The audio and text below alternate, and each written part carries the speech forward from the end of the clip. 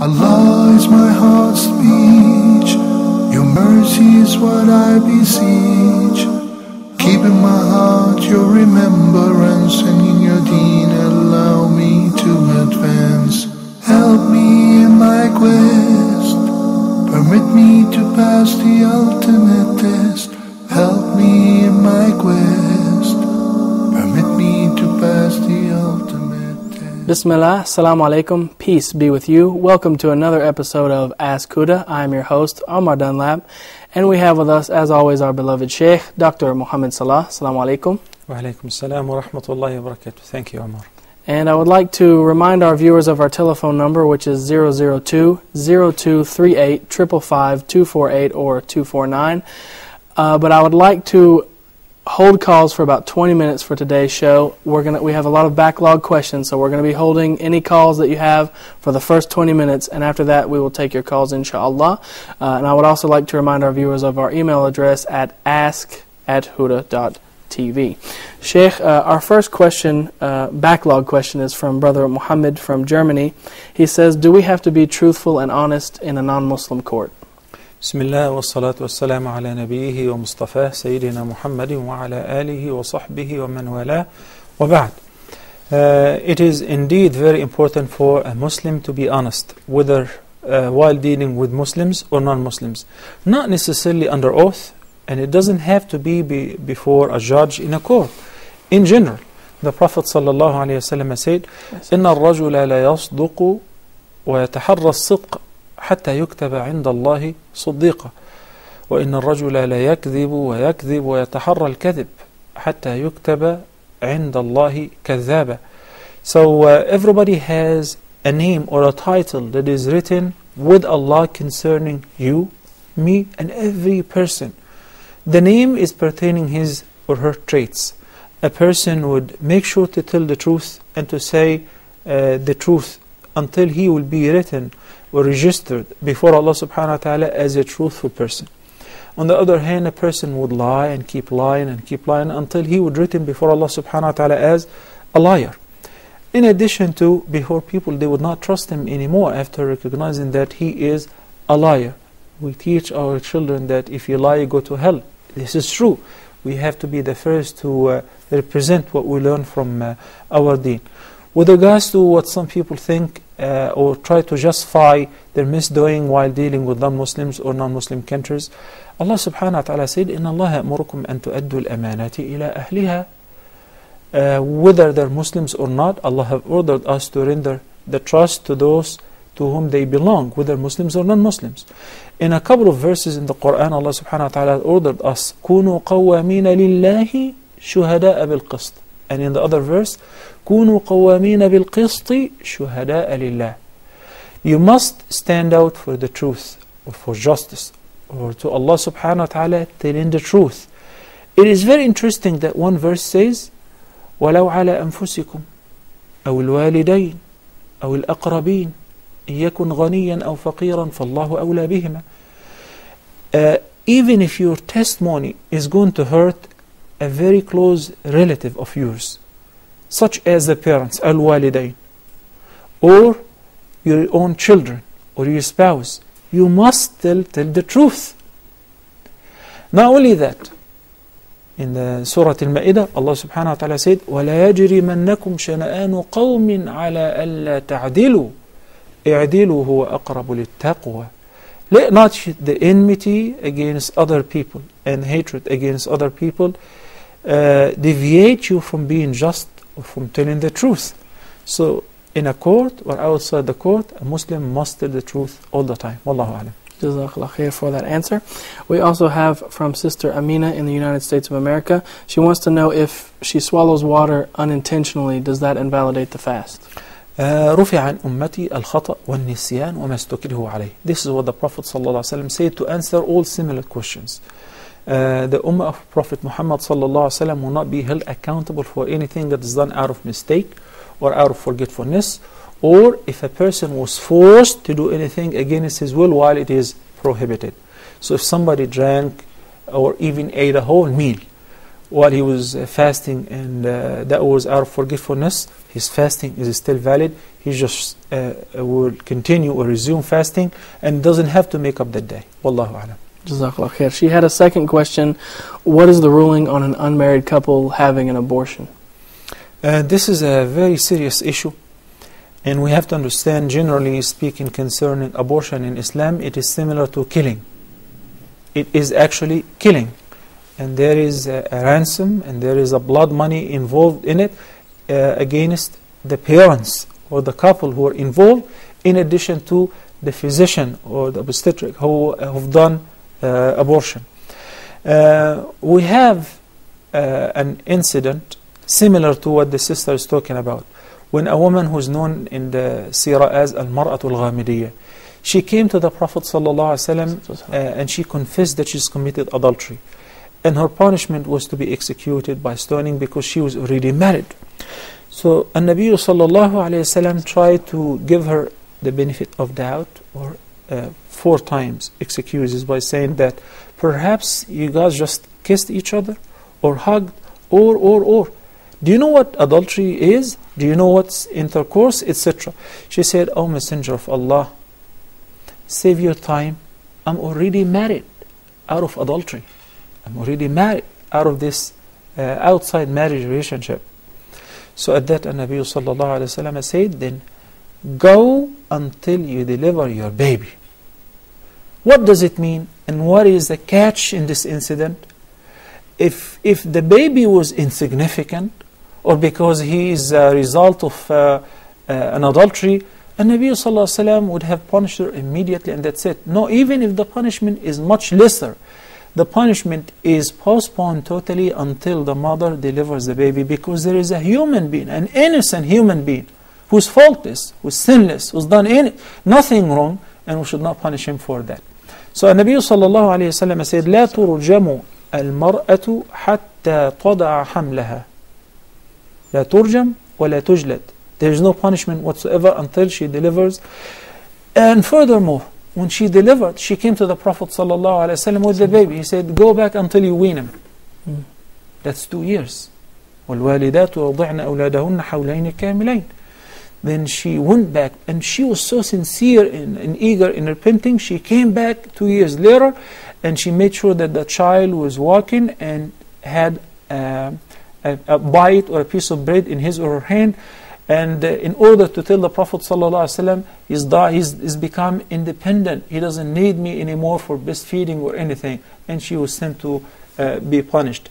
So uh, abortion in Islam is only permissible in one case after the third stage, which the Quran and the Sunnah have explained, uh, uh, al-nutfa, al-mudgha, al-alaqa, uh, which we call it four months and ten days. In أحدكم يجمع خلقه في بطن أمه أربعين يوما. The first 40 days, then the second stage 40 days, then the third stage 40 days, 120 days, four months and 10 days.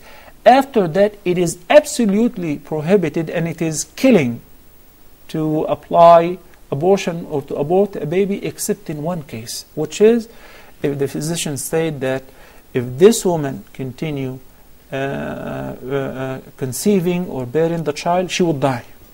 So in order to save the life of the mother, would abort the baby.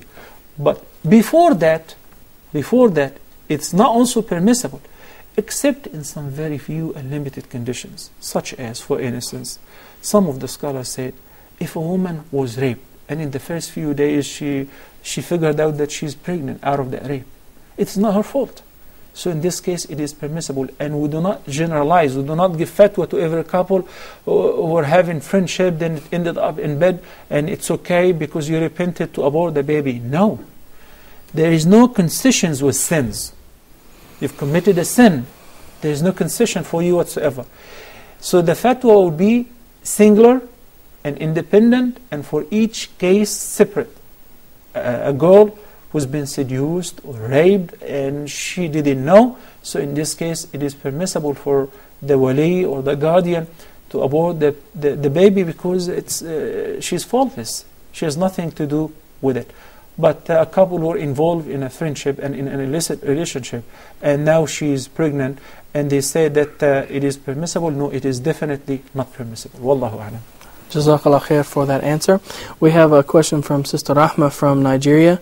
She asks if I have, for example, $1,000 and I want to give zakah, can I give that zakah, all of it, 1,000 to one person, or should I divide it up? Is there some merit? If you have that? one case, one poor person who is desperately in need for the 1,000 and you give it all to him, it is valid. If you distribute the 1,000 over whatever available of the eight categories listed in verse number 60 of Surah At-Tawbah, that too is available and this is the best case and the ideal condition. But sometimes even uh, if the only person we have doesn't need that much, but we don't have any other categories. So it will be deposited in one or two or three or whatever available of the eight categories of those who are entitled for the zakah. Jazakallah khair. Uh, she had another question. Uh, what is the Islamic way of reprimanding children? Uh, there are many ways uh, through reward and depriving from the reward. Depriving from the reward. This excessive punishment through excessive beating, slapping, and uh, slamming is prohibited. Not only with regards to our children or any other human being, and not only that, including animals. And Nabi sallallahu alaihi wasallam forbade uh, beating animals. So uh, there are many ways, such as always linking achieving any good with a reward, or depriving the child from a reward or a game that he likes to play, or going out, or buy new clothes, or or or or. There are so many ways which we deal with our children with, and sometimes uh, slight slamming is is needed when the when the child is very we call it naughty is very hyper. But uh, what we see in some families, in some cultures, beating the children, this is something that's not uh, really recommended.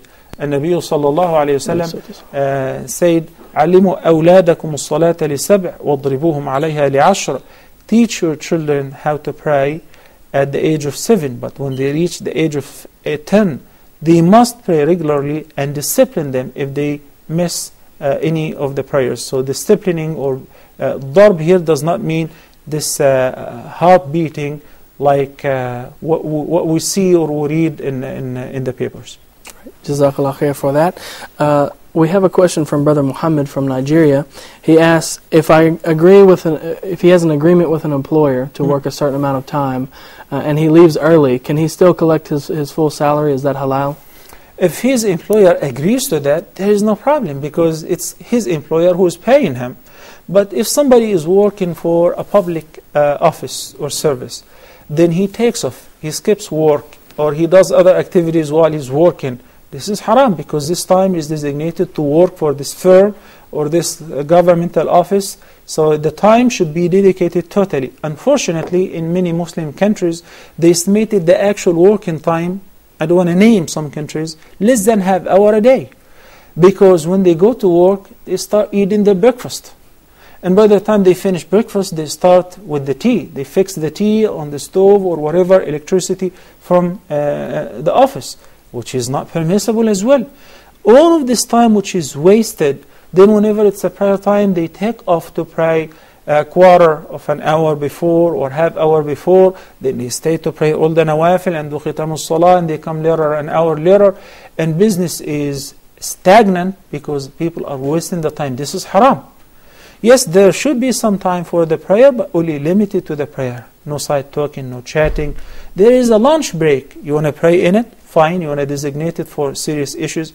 Uh, but if your employer in a private firm allows you to go and come back whenever you want, that's his business. No problem. Okay, Jazakallah khair. Uh, Brother Muhammad also asks if a father or a wali uh, is, is examining a suitor for his daughter, uh, can he stop the marriage if he finds some problem in the aqidah? He should. Okay. As a matter of fact, he should. That's why Allah entrusted him with the guardianship, with the uh, walaya. وَكَفَى بِالْمَرْءِ إِثْمًا أَنْ يُضَيِّعَ مَنْ يَعُولُ wasting those who are under your guardianship is not only by not spending money on them or not by working to support them, but also by entrusting those who are not trustworthy to look after them or giving your daughter to somebody who is not a believer or is not a, a, righteous person. Okay, Jazakallah khair. Uh, Brother Zubair from the Kingdom of Saudi Arabia said that there's a group in India and Pakistan called the Ahlul Hadith. Are they a good group to follow? What I like is not to mention names, but what I like is traits. Are they following the Kitab, in the Sunnah, the Book of uh, Allah, and the Sunnah of the Prophet the sound Sunnah? Then they are on the straight path, even if they have various names.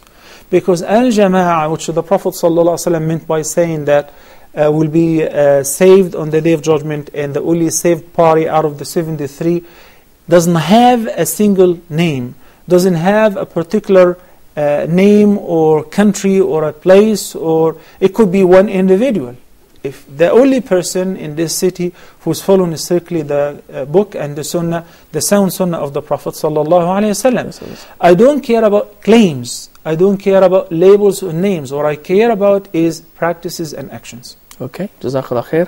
Uh, Brother Hamza, from, also from the Kingdom of Saudi Arabia, asks Does the word qadr refer to Allah subhanahu wa ta'ala's power or His will and decree? That Qadr. Yeah. Well, it, it comprises all of that in addition to his infinite knowledge. So it begins as follows Al Qadr and belief in Al Qadr, which is uh, the sixth article of faith, as listed in the hadith of Jibreel alayhi salam, وأن تؤمن بالقدر خيره uh, وشره to believe in the preordainment or the divine destiny. It's good and it's bad.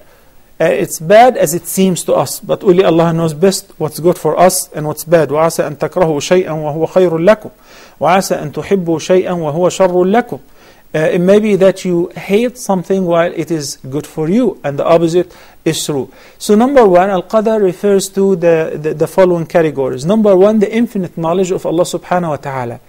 That before we were created, Allah subhanahu wa ta'ala knew that we would be created, and that will be our fate because He is Al Alim, Al Khabir, the all knowing. His knowledge is infinite, without space nor time. So He knows the ancient informations, the past, the present, and the future. To Him belongs the knowledge of the unseen, only to Allah subhanahu wa ta'ala.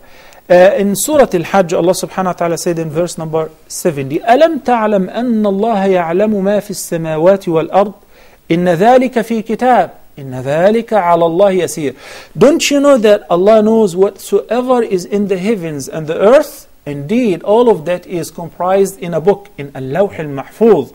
That is the second category of Al-Qadr, of belief in Al-Qadr.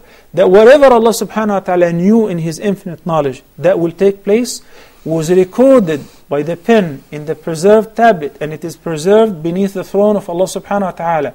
In the sound hadith which is collected by Imam Muslim and narrated by Abdullah, the son of Amr ibn al-As, may Allah be pleased with him and his father, he said that the Prophet sallallahu alayhi wasallam, Allah uh, said that the Prophet wasallam said that Allah has created the maqadir and ordained the preordainment and the destiny of mankind 50,000 years before the creation of the heavens and the earth.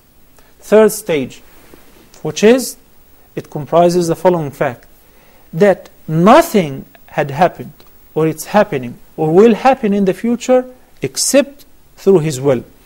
Allah subhanahu wa ta'ala said, for instance, in the story of Prophet Zachary, when his wife was sterile and he reached uh, uh, um, uh, senility, then all of a sudden Allah subhanahu wa ta'ala, after he, Zachariah, invoked Allah subhanahu wa ta'ala to give him a son, the angels came to give him the glad tidings. He was surprised. He said, أَنَّ يَكُونُ لِي غُلَامٌ وَقَدْ بَلَغَنِيَ الْكِبَرُ وَامْرَأَتِي عَاقِرٌ How could this happen? How am I supposed to have a child and he was already named? Allah subhanahu wa ta'ala said, He will give him Yahya. لَمْ نَجْعَلْ لَهُ مِنْ قَبْلُ سَمِيًّا How am I supposed to have a son, a ghulam, while I've reached an old age and my wife is already sterile? Physicians state there is no way that can conceive. What was the answer of the angels? And Jibreel salam told him what? كَذَلِكَ اللَّهُ يَفْعَلُ مَا يَشَاءُ This is what Allah wants. If He wants it, it will happen. It will take place. So all the means mean nothing whenever Allah subhanahu wa ta'ala wills. يخلق ما يشاء ويختار Allah subhanahu wa ta'ala said in another verse in uh, Surah Al-Qasas, uh, verse number 68. وَرَبُّكَ يَخْلُقُ مَا يَشَاءُ وَيَخْتَارُ That is the last stage, which is if He wills, He creates. So Allah خالق كل شيء Surah Al-Zumar. Allah is the creator of everything. He created us and our actions. So basically, these four categories are the meaning of Al-Qadr. And if we believe in them, that means you are a person who believes in Al-Qadri khayrihi wa sharri. Okay, Jazakallah khair for that very detailed answer. Brother Sheen from Egypt, he wants to know, can a Muslim marry, a Muslim man marry, for example, a Buddhist or a Hindu or an atheist? Uh, a Muslim Man. Man. Can a Muslim man marry a Okay. Buddhist or something? Allah subhanahu wa ta'ala said in the Quran, وَلَا تُنْكِحُ الْمُشْرِكَاتِ حَتَّى يُؤْمِنْ This is a general verse, which means, and don't you marry the non-believing women until they believe. Okay?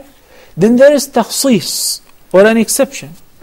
In another verse, Allah subhanahu wa ta'ala said, وَالْمُحْصَنَاتُ مِنَ الْمُؤْمِنَاتِ والمحصنات من الذين أوتوا الكتاب من قبلكم إذا آتيتموهن أجورهن the verse In this verse Allah subhanahu wa ta'ala made an exception from the general previous verse which it is prohibited totally for a Muslim man to marry a non-Muslim woman except if uh, this non-Muslim woman is a woman who belongs to the faith of the people of the scripture Judaism or Christianity and this is a long story which we have discussed repeatedly why Allah subhanahu wa ta'ala ex- exempt them, al-Yahud and Nasara, Jews and Christians, and allowed us to eat their dhabiha and marry their women. We spoke before in details uh, about that. I know that we've taken uh, already enough time from uh, the viewers, and now we'll be happy to take their phone calls.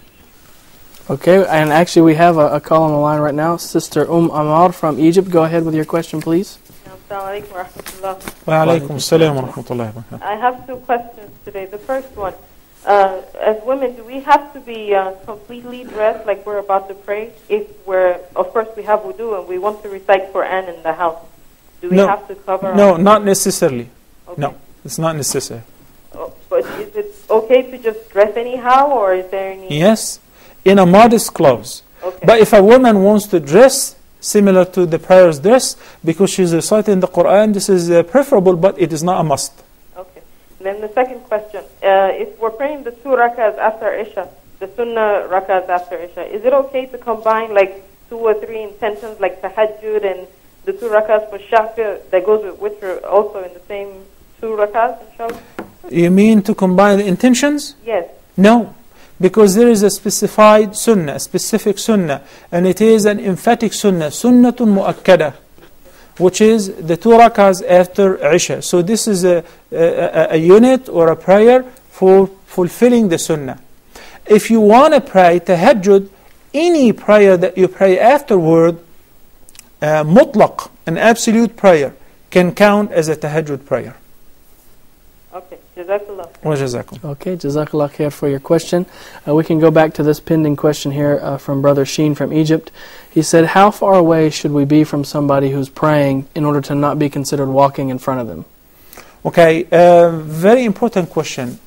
The sutra, for instance, should be right in front of you so that when you prostrate yourself, you will be nearby or just a handful uh, between you and the sutra in order to allow you to perform sujood. So if uh, the masjid, once you enter the masjid, the Prophet ﷺ commanded us, or at home or anywhere, إذا صلى أحدكم فليصلي إلى سترة وليدن منها. You must get very close to the sutra in order to announce to walkers, people who are walking by that I'm praying. So if you want to cross, you cross from behind the sutra. So the urf or the, the, the common understanding is that if you enter a masjid, you try to find uh, a pole or a pillar or a wall to draw near to it in order to pray. A person who does not do that and deliberately go all the way to the end and people do not notice and course before him he is the person who's bearing the sin because they don't know and he did not put the sutra but if somebody is praying for innocence people sometimes do that they come at the door and they start praying the nawafil or the sunnah and there is a whole line waiting. So if there is a couple of yards, for instance, between that person and you, you can cross. You're not going to hold the entire masjid because you're praying and you do not have a sutra before you. Okay, Jazakallah khair for that. We have on the line now Brother Abu Hajar from Nigeria. Go ahead, brother, with your question, please. Assalamu alaikum, Ya Sheikh. Wa alaikum Abu Hajar. Uh, my, question, my questions are two. Uh, the first question is about uh, an istiba and a ram. Uh, in uh, Hajj. Hmm. The exposure of your right shoulder and istiba, and then a ram, the, the first trot when you are uh, circumambulating uh, the first three cycles. What about them? Hello? Yeah, what about them? What is the question? Is, is it, is it uh, what I learned was that it's only done during tawaf al-qudum. The other tawaf, you don't need to do that. Is it authentic? That you only do it for tawaf al-qudum? No. That's my first question. Okay. Yeah. Then the second question is, um, when you enter the uh, Masjid al-Haram, Kaaba, before you start the tawaf, do you do tahiyyat al-masjid or you, you, you shouldn't? Okay. Okay. Yes. Okay, Okay. Jazakallah khair for Thank those you. questions, brother. We have on the line also Sister Habiba from Nigeria. Go ahead, sister, with your question, please.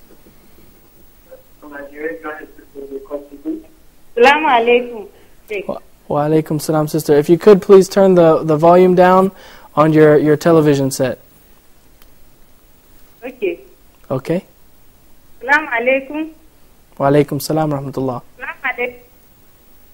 Wa alaikum salam wa rahmatullahi wa barakatuh. Okay, I want to ask if one is observing prayer and you are reciting surah that ended with um, um, sujud, sujud tilawa. Hmm.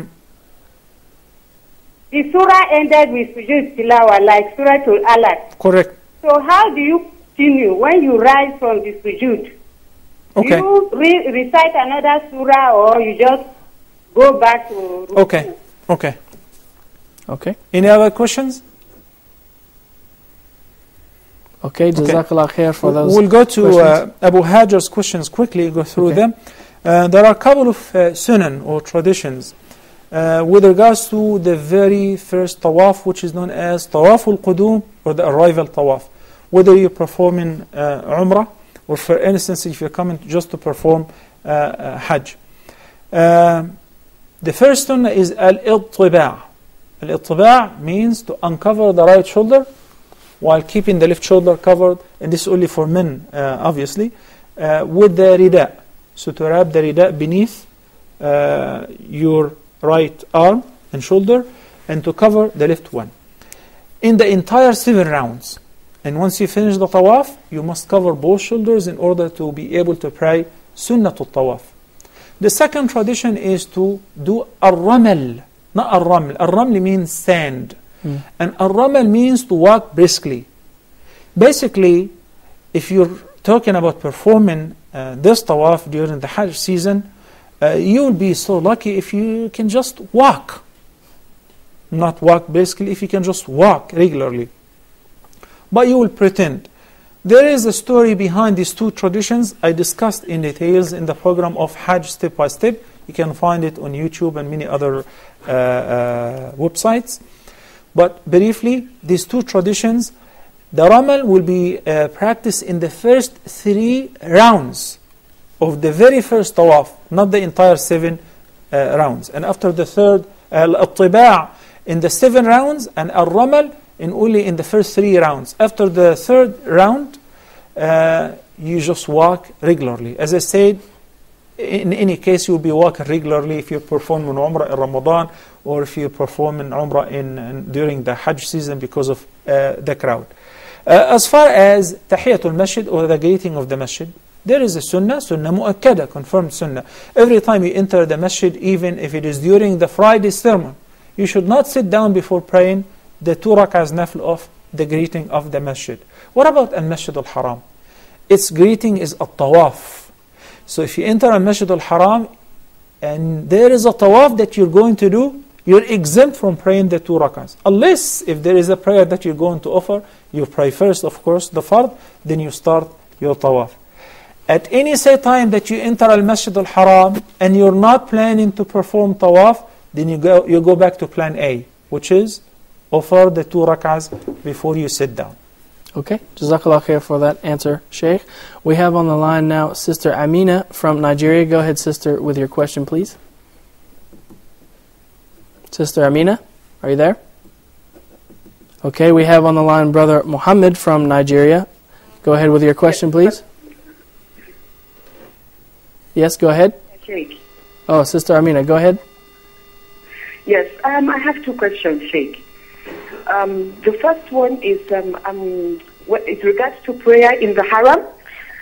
Um, is it allowed for a person to pray in a hotel room that is overlooking the Kaaba and uh, follow the congregational prayer with the rest of the people? For you know those there's those hotels where you can see the Kaaba from your hotel room. Can you pray um, following the congregation from those rooms? MashaAllah, Sister Amina, you're traveling. You're a rich woman, you're going to perform a Hajj, uh, you stay in an hotel seeing the Kaaba. Yes. Okay? I will answer that inshallah uh, once you finish. Okay, and your second question? Uh, a second question has to do with illness.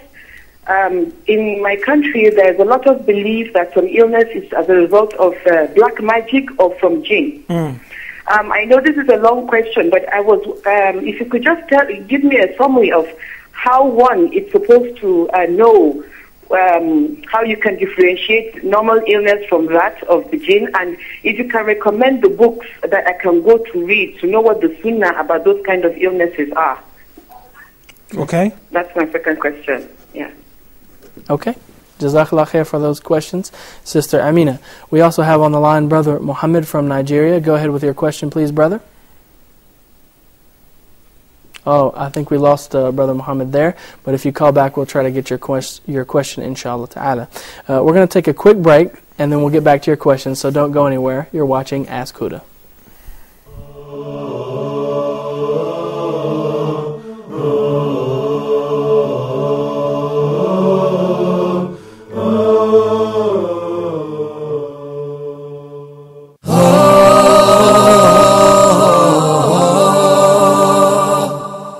Philosophy of Islamic Law, a program for restoring belief and trust within Muslims' mind and heart, and for re-establishing a true concept about Islamic rules for others.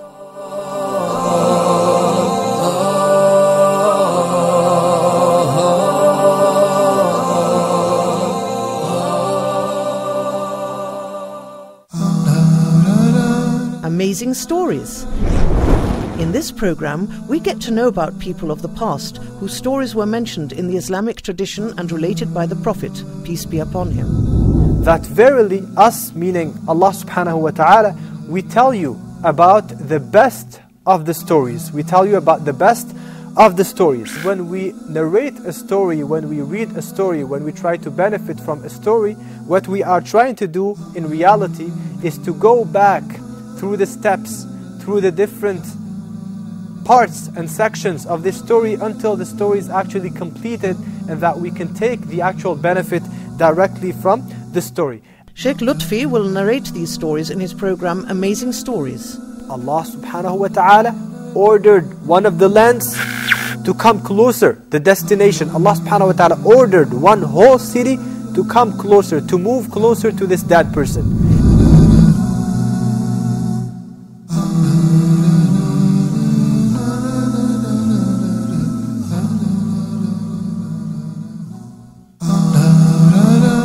Be proactive. Dr. Haitham Al Haddad teaches us how to take a conscious control over our life, set our goals, and work to achieve them in Islam. Take firm steps towards your future. Be positive and be proactive. every single Muslim needs to have in order to be an effective person. So, proactivity uh, in Islam, how to serve our religion and how to serve uh, our life and our guides through all of this. The proactive person is always motivated. The proactive person always have high ambition. The proactive person, he will not lose his time. He will not waste his time. The proactive person is a generous person.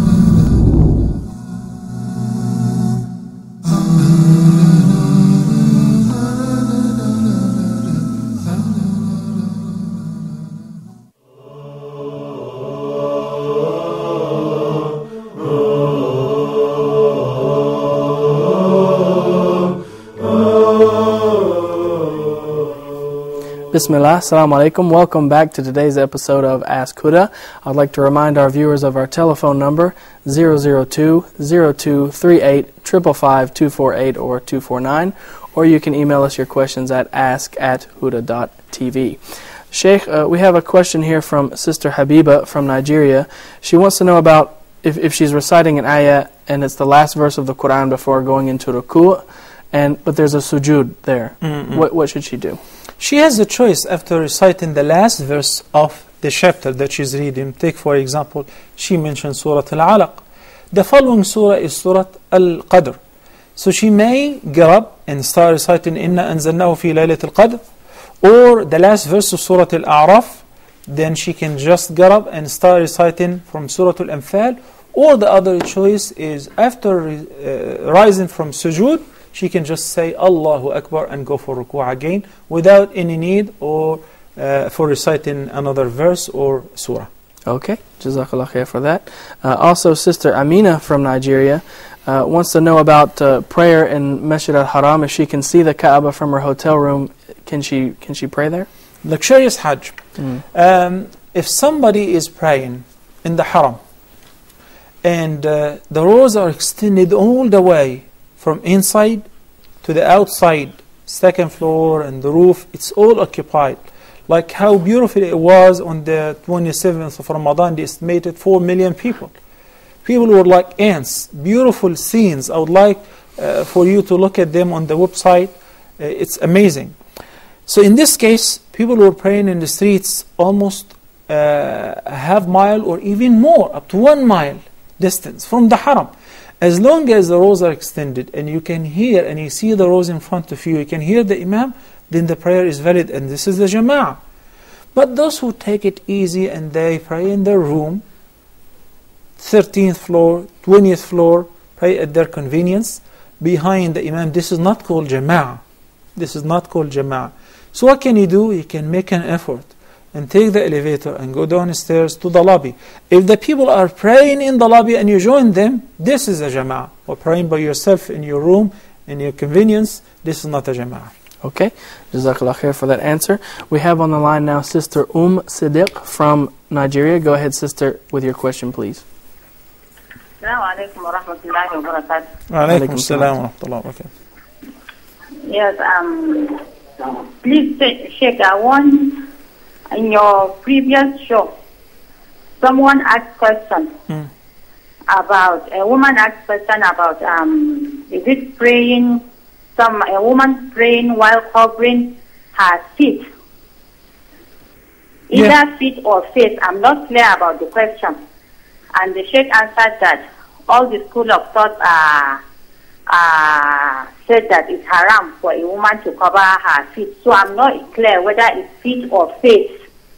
Please, I want the sheikh to. Okay, uh, right now, for me. Thank basically the question was pertaining uh, the feet, and uh, the most, um, uh, the more right view in this regard, based on the hadith of Umm Salama, is to cover the feet, according to the Shafi'i madhab, it's to cover the feet while praying. Uh, with regards to the face, a woman must uncover her face while praying. Okay. Okay? But her feet, so she cannot wear socks like socks to pray. I'm sorry, I missed that. So I cannot wear my socks to pray. You should. This is according to the uh, more right view. You should cover the feet by wearing socks, or if you're wearing long skirt or a long abaya that covers the feet, that is permissible. But what should not be covered during the prayer is the face. Okay, okay. Thank you so much. You're most welcome. Jazakallahu khair. Okay. Wajazak. Wajazak. Uh, we also have on the line Sister Fatima from Nigeria. Go ahead with your question, please, Sister. Uh, hello, assalamu alaikum. Wa alaikum salam. Alaikum salam wa rahmatullahi wa barakatuh. Okay, my question is first, um, in my school there are these people that have jinn, and my friends don't believe in it. So I'm asking if you can explain to me about this. Okay, people that have, if you could just repeat that, you have people they in your. have s- jinn. Yeah, some people don't believe in it, but I believe. They Okay. cannot lie just like that. Okay, in jinn, you're saying in the jinn. Yeah. Okay. Because I believe jinn do exist, but some people don't believe, Mhm. especially the non-Muslims. Okay. Okay. Yeah. Okay, that's like Okay, Jazakallah khair for that questions. Uh, we have uh, a question from Sister Amina in Nigeria. She said uh, some people in Nigeria believe that illness can be from black magic.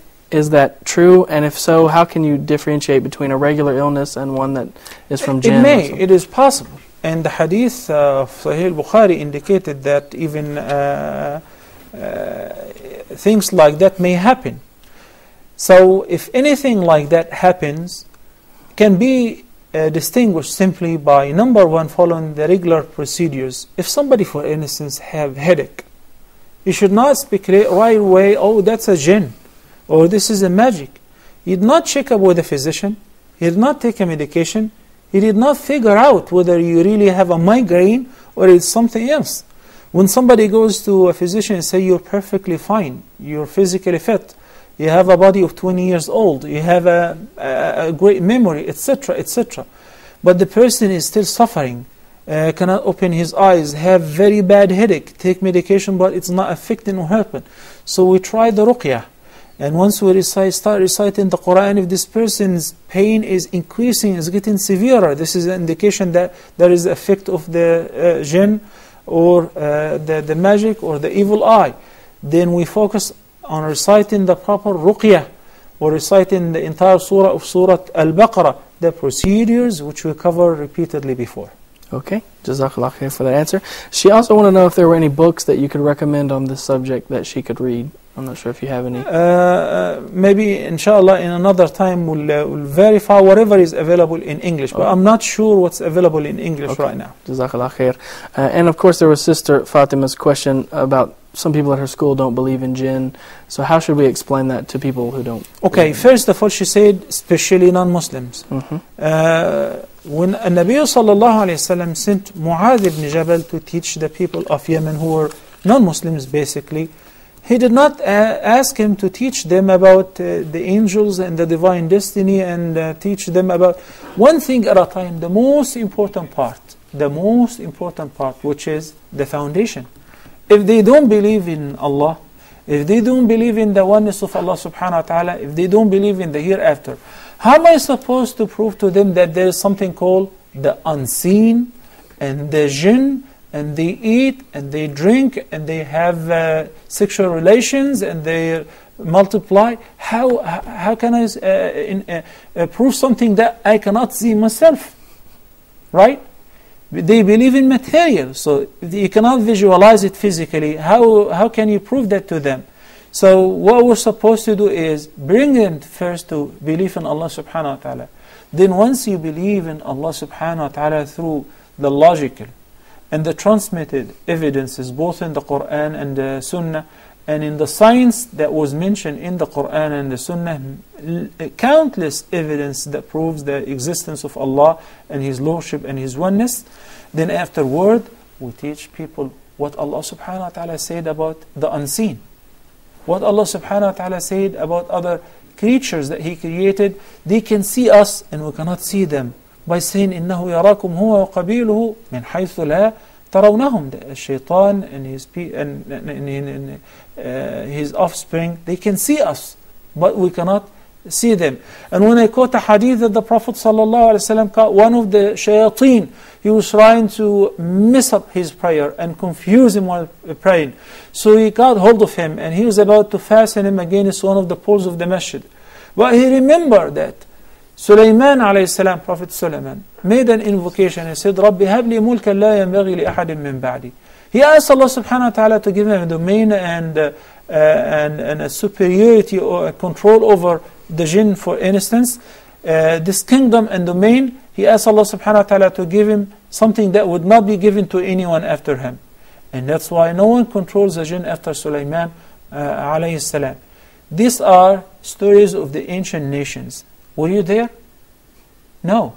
So how did you know about them? The Quran informed us about all the prophets, 25 of them, their stories informed us about the jinn and how they were subservient to Sulaiman alayhi salam, informed us uh, about the angels, informed us about uh, the world of the uh, unseen. So if you're a Muslim, you must believe in all of that.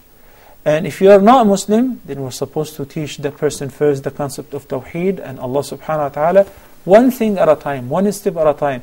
ادعوهم إلى شهادة أن لا إله إلا الله وأن محمد رسول الله فإنهم أجابوك لذلك فأخبرهم أن الله عز وجل قد فرض عليهم خمس صلوات في اليوم والليلة.